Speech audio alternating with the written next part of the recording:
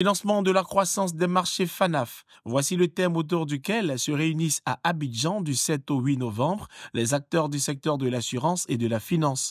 L'événement vise à explorer de nouvelles sources de financement pour soutenir la croissance du secteur sur le continent. Le secteur des assurances a, sans, commune mesure, aujourd'hui plus qu'hier, un rôle majeur à jouer dans le développement économique et social de nos pays.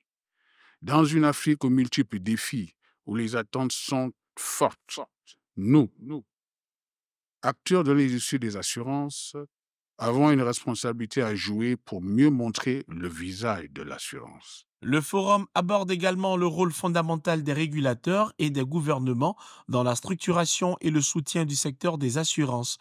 Pour le ministre des Finances et du Budget de Côte d'Ivoire, le secteur joue un rôle important dans le développement économique du pays et il est essentiel pour lui de renforcer les partenariats publics-privés.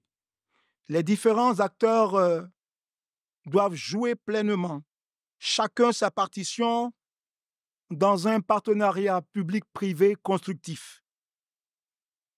Les présentes assises doivent notamment identifier de nouvelles opportunités et les pistes de financement pour le développement de nos marchés. Deux jours durant, les acteurs de l'assurance explorent des solutions innovantes pour transformer le secteur. Avec le soutien de l'État et des partenaires privés, la FANAF espère donner un souffle nouveau à l'assurance en Afrique en la rendant plus accessible et plus performante.